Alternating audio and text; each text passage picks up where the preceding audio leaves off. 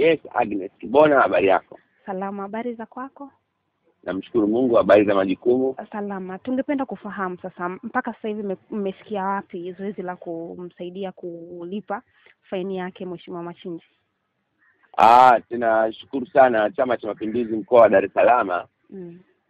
wametusaidia tangu jana hukumu ilipotoka mpaka Mm. mpaka milango ya saa nne usiku tulikuwa walikuwa wamefanikiwa e, kupata kile kiasi ambacho kinahitajika mahakamani ili kumnusuru ndugu yetu Mashinji. Mm. Kwa hiyo sasa hivi tunaelekea mahakama ya Kisutu kufuata utaratibu wa kimahakama Mm. kupata control number na baadaye eh, kulipa na baada ya kulipa kupata eh, amri ya kumtoa gerezani halafu tutakwenda gerezani kumtoa ndugu yetu na tutamkabidhi kwa wanafamilia ndio Pengine sasa ninyi kama chama hamuoni kama labda ni umekuwa ni mzigo kidogo kwenu?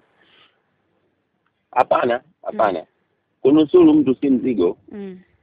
ndio na tumefanya hivi kwa sababu mwanachama mpya unajua Mm. mwanachama mpya na ni mwanachama ambaye amekuja alikuwa ni kiongozi ana dhamana alikotoka Mm. kuna vitu ametufundisha sana vitu alivyotuambia vimetutafakarisha Mm.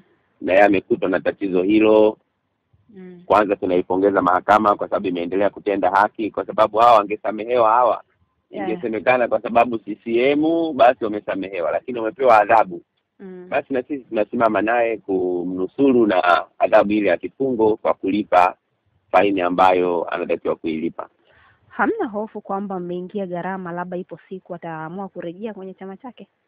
hapana wala hii tulichomlipia Mm. hatutakikumbuka wala hatutakiandika wala hatutampatika bango kwenye paji la uso kwamba tulimlipia. Mm.